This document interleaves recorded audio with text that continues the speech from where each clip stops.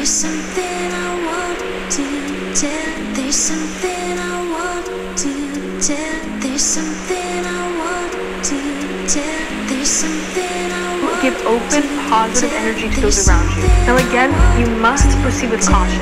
Don't carelessly flaunt your willingness to give loads of positive energy to everyone you see in a given day because that will just exert you and you're likely to have someone take advantage of your openness. Setting boundaries and knowing when to say no will save your femininity because saying yes to everything will just make you resentful and close you up. There's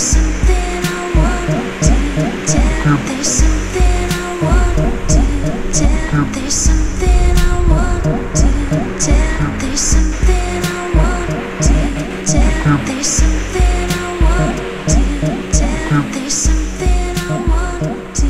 tell. There's something I want to do. There's something